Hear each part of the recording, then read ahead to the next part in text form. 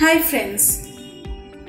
Losing a baby during pregnancy or after delivery is also considered infertility. It could be recurrent in some cases.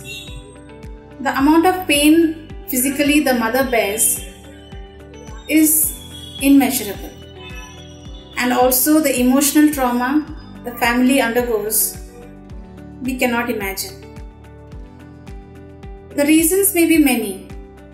It could be because of ectopic or growth retardation, because of infection like toxoplasma, because of thyroid issues, hormonal imbalance.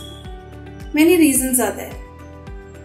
Ayurveda says that before you can get pregnant, it is always better that you plan it. And for planning, you need body correction, lifestyle correction, diet changes, and these all takes at about 2 to 3 months. Then only the woman is physically and mentally prepared to undergo any changes. And always these changes will be positive without any fear of any miscarriages or any mishaps during pregnancy or even after delivery.